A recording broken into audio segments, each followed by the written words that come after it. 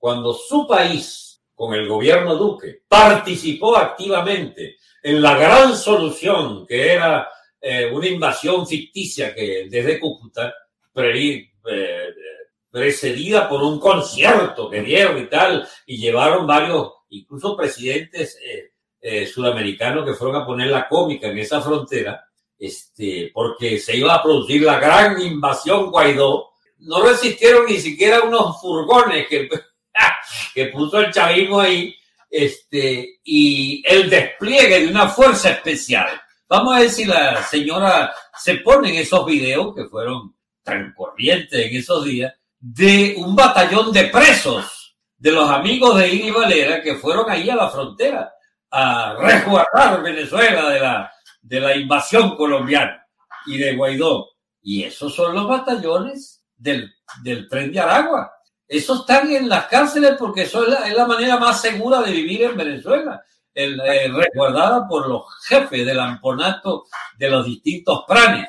Señora, comuníquese con Iris Valera, se le garantiza que tendrá una respuesta más coherente para ver cómo controlan su eh, AMPA desbordada. Por lo demás, es nuestro modelo actual de exportación. Eso es lo único que puede exportar Venezuela con cierto éxito. AMPA.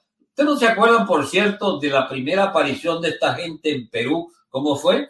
Se baja una tipa, una muchacha hasta buena moza, era la amponilla, la amponilla esta. Se baja y le zampa un tiro en la sien a un a un tipo en una, una acera. Se volvió a montar en su moto y se fue.